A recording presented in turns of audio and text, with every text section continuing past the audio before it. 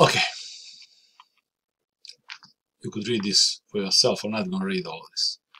So actually you have a Doppler shift because galaxy is moving away from us or towards us and so on. Now, what is the first question? First question is uh, is moving away from us. Why? Because this wavelength is larger than this. So that is what is called the redshift. So this is a redshifted, and this is how much that is redshifted according to Mr. Doppler. That is correct. So the galaxy is moving away from us. This is the wavelength that it should be, and this is what we measured.